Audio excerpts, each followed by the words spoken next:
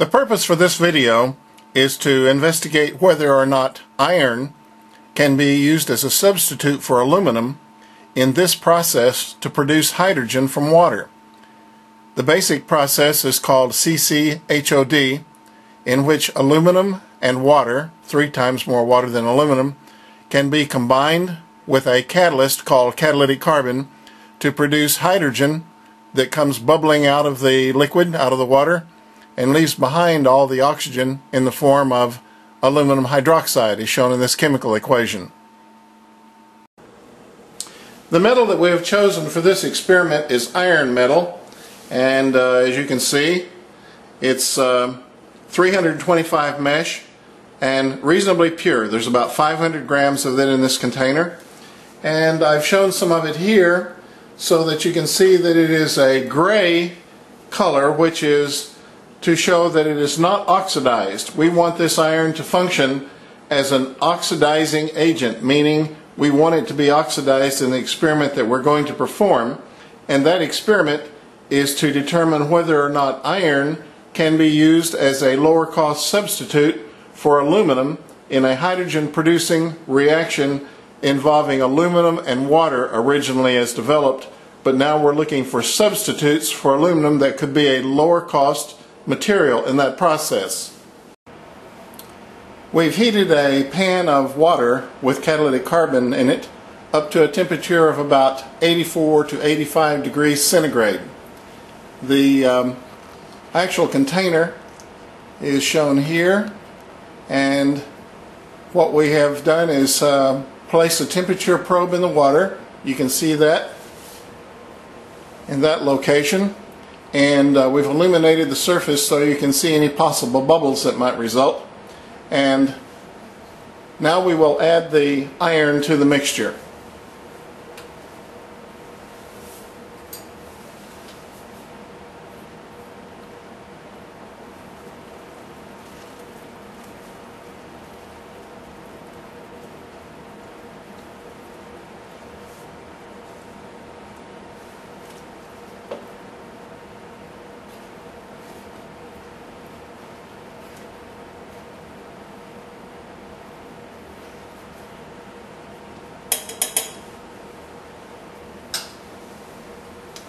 Okay, we added about uh, 400 grams of the iron powder to the mixture.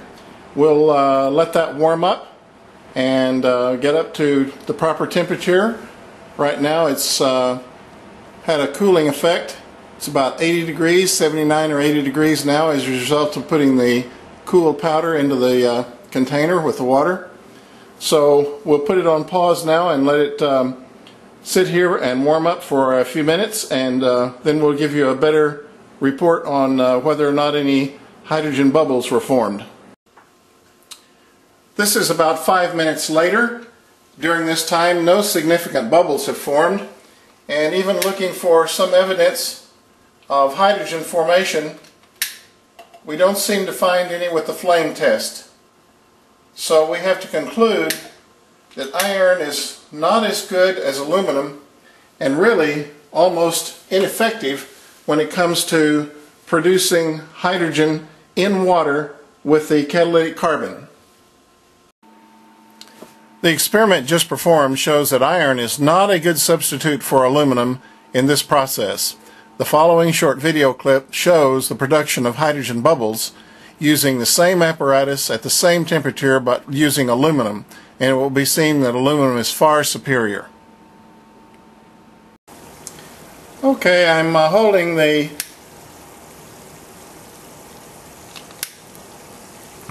I don't seem to be able to get the flame to the bubble in time. I think you can see that though. It's clearly combustible gas.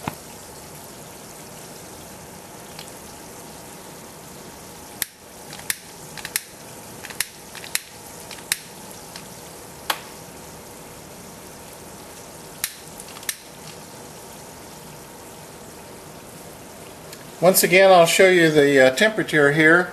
The temperature is only 75 degrees centigrade.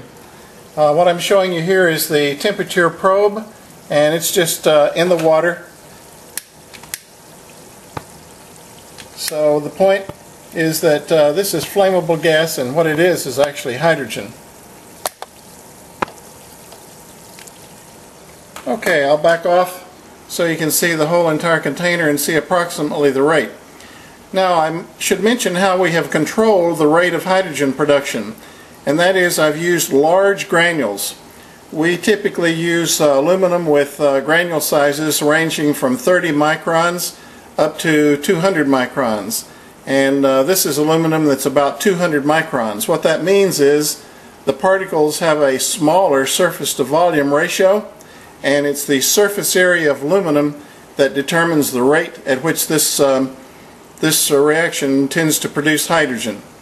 So that I think uh, concludes the demonstration except to say that uh, we have also produced this outside in an open air environment at a much higher rate.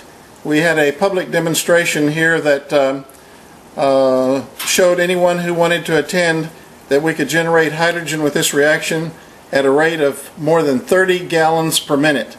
And that is a higher rate of hydrogen production than has ever been produced by any electrolysis system in the world for all the history of the world. So it was uh, literally an, a record-breaking event.